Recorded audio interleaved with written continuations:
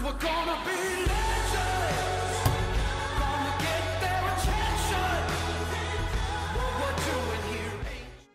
Hola, my name is Beatriz. I'm a Spanish guide for the Legends of Bruges. But today, and for the very first time, I will guide you all in English and we talk about the Jerusalem Chapel. The Jerusalem Chapel of Bruges was inspired by the Church of the Holy Sepulchre in Jerusalem, the site where Jesus Christ is believed to have been buried and resurrected.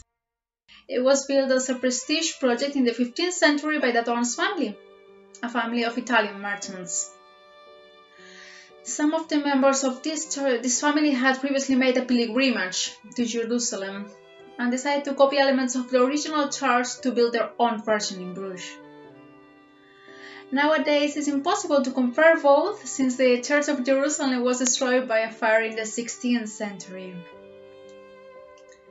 During the construction of this church, they also included a replica of the tomb of Jesus Christ. According to an old legend, when they attempt to place the cover stone of the replica of the Holy Grave, the stone cracked. When they tried the same with a new stone, it cracked again in exactly the same way. That's why the family decided to travel back to Jerusalem to take another look to the original original grave, and they realized that the top stone also featured the same crack.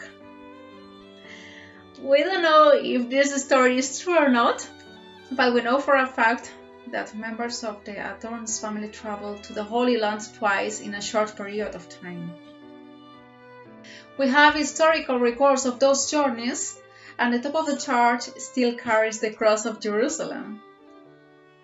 The church has been private property ever since its construction, that saved it from the destructions caused by some religious revolts.